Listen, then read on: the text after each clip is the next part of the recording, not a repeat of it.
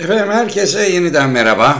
Türkiye Cumhuriyeti Suriye sınırında Amerika Birleşik Devletleri tarafından kaynaklanan büyük bir meydan okumayla karşılaştı. Özellikle Ukrayna Savaşı'nın en kritik dönemlerinin yaşandığı bir sırada Amerika Birleşik Devletleri Genelkurmay Başkanı Orgeneral Mark Milley'in Suriye topraklarına inip Haseke'de PKK-YPG unsurlarının oluşturduğu SDF ile buluşması ve Suriye'deki Türkiye aleyhine çalışan o terör gruplarına Amerika Birleşik Devletleri Silahlı Kuvvetleri'nin en yüksek makamı olarak garanti vermesi açık bir meydan okumadır.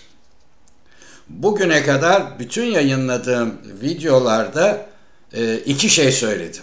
Bir, Amerika Birleşik Devletleri'nin PKK-YPG unsurlarıyla kurmuş olduğu Suriye'deki ittifak taktik bir ittifak gibi gösterilse de stratejik bir ittifaktır ve Amerika Birleşik Devletleri o bölgede PKK tarafından yönetilen bir otonom veya bağımsız siyasi yapılanma oluşana kadar bu misyonundan vazgeçmeyecektir dedim.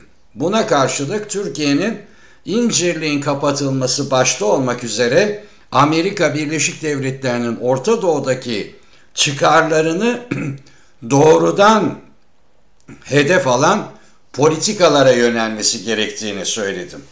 Ve ikinci nokta olarak da özellikle 28 Aralık 2022 günü sürpriz bir vaziyette Rusya'nın başkenti Moskova'da Türk ve e, Rus ve Suriye savunma bakanlarının bir araya gelmesi ve devamında yapılan açıklamalarda Suriye, Rusya, İran ve Dışişleri Bakanlarının bir e, buluşma gerçekleştireceği yolundaki bütün o politikalara karşı çıktı. Niçin?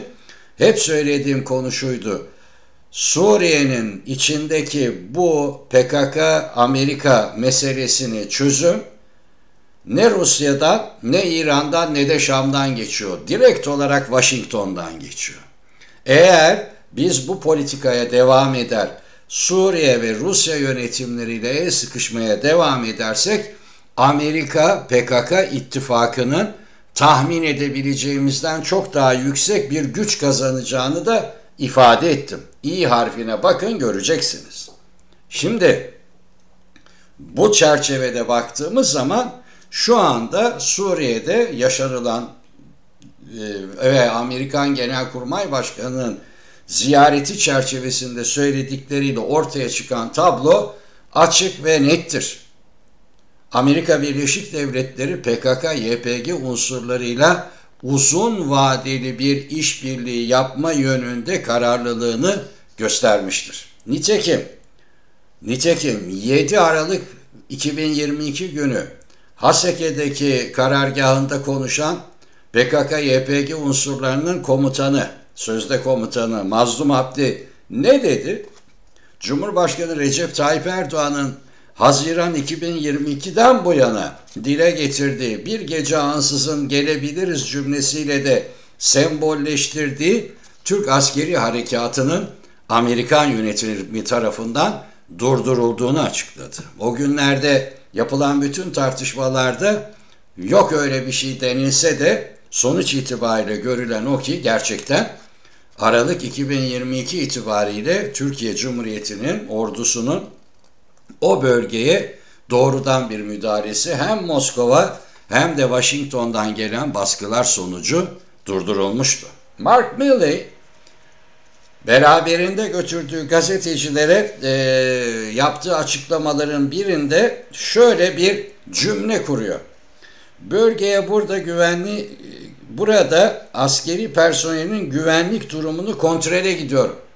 Bakın bölgeye burada görevli askeri personelin güvenlik kon durumunu kontrole gidiyorum.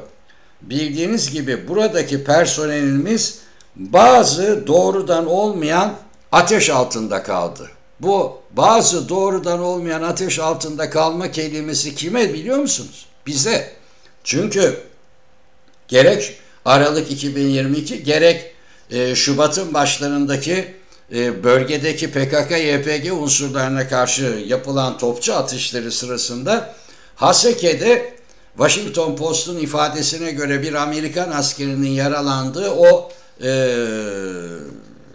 bombardımanda 300 e, metre yakınlarına kadar bir üssün, Amerikan üssünün topçu mermimiz düştü. Peki o Amerikan üssünde kim yaşıyordu?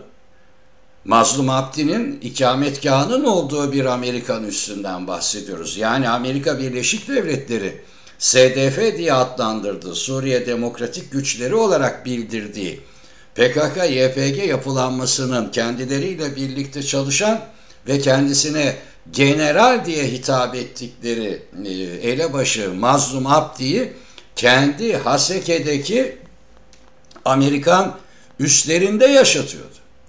O bombalardan biri de onun tepesine inmedi ama yakınına düştü. Nitekim Amerikan Genelkurmay Başkanı'nın fotoğraflarında PKK'lılar gözükmüyor. Bir iki tane fotoğraf geldi. İyi harfinden size aktarmaya çalışacağım sol üst köşedeki. Ama hangi üste denetleme yaptı isim olarak asla bildirilmedi. Ben size söyleyeyim Haseke'deki Amerikan üstünde yaptı. Niye? E çünkü Mazlum Abdi orada yaşıyor.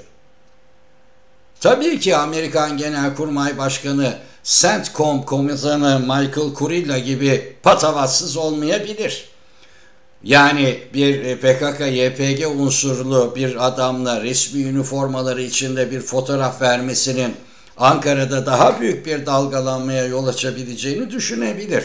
Ama bildiğiniz gibi CENTCOM komutanı yani Amerikan Merkez Komutanlığı komutanı Michael Kurilla bunu da hiç takmadan o e, elebaşıyla el sıkışırken, sohbet ederken, toplantıdayken fotoğraflarını geçiyor gözümüzün içine baka baka. Olay budur. Ne, ne yapmış e, bu adam yani Mike Milley?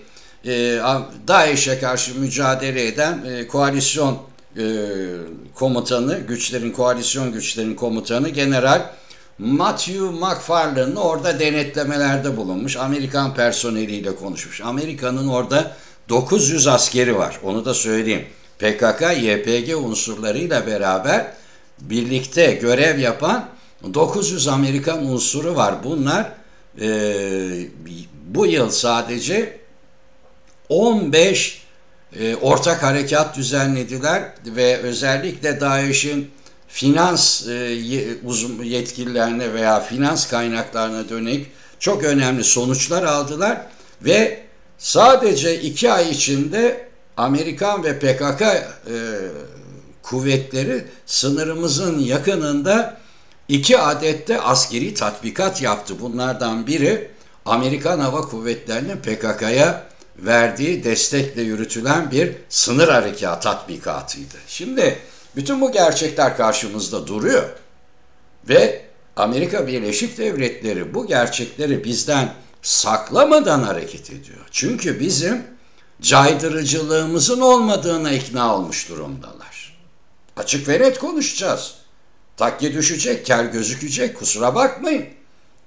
Yani Amerikan e, Genelkurmay Başkanı senin hem de hem de 1 Mart tezkeresinin yıl dönümünde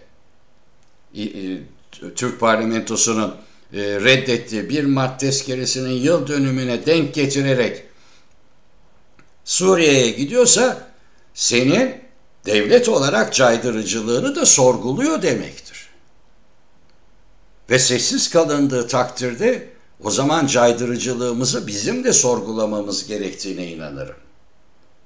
Bu tür olaylara sessiz kalmak aynı zamanda kendi caydırıcılığının da sonuç itibariyle devre dışı kalması anlamına gelir. O yüzden e, önemli bir durum. Burada DAEŞ'in temizlenmesi için görevlendirdiğimiz gücün çalışmaları hakkında taahhütümüz sürüyor diyor. Demek ki taahhütü kesin. Ve e, McFarlane örgüt varlığını sürdürüyor ve ağır hasar verme potansiyelini koruyor. Burada kalacağız diyor. Bu aynı zamanda Moskova ve Tahran'ı benim sizinle bu Suriye coğrafyasında hesabım var demek. Yani Amerika Birleşik Devletleri'nin Genelkurmay Başkanı'nın Ukrayna Savaşı sürerken Suriye'ye inip oradaki 35-40 bin belki de 50 bin oldu e, ne ulaşmış kendi yapıp eğittiği, donattığı askeri yapılanmaları ziyaret etmesi, denetlemesi sadece ve sadece Türkiye'ye meydan okuma olarak da değerlendirilemez. O işin bir önemli ve bizi ilgilendiren yönüdür. Ama sonuç itibariyle orada Amerika aynı zamanda sadece Ankara'ya bir mesaj vermiyor. Moskova ve Tahran'a da diyor ki buralardan sizi temizleyeceğim. Bu kadar büyük bir kırılmanın içinde ben Türkiye Cumhuriyeti Devleti'nin politikalarını yeniden yapılandırması gerektiğine inananlar grubundanım. Söylüyoruz. Bıkmadan da söylemeye devam edeceğim. Kusura bakmayın. Ama e, sonuç itibariyle bu bazı meseleleri efendim ekonomik kriz yaşıyoruz, seçime gidiyoruz. Ondan sonra daha yeni deprem yaşadık falan diyerek halının altına süpürülebilecek durum değildir. Bu bu bu ziyaretler ve bu yapılanmalar gözümüzün içine bakarak yapılan bütün bu işler halının altına süpürülebilecek bir nitelik taşımıyor. Tam tersine milli beka açısından çok ama çok ciddi bir sorun olarak karşımıza dikiliyor. Uyarıyorum. Hoşçakalın.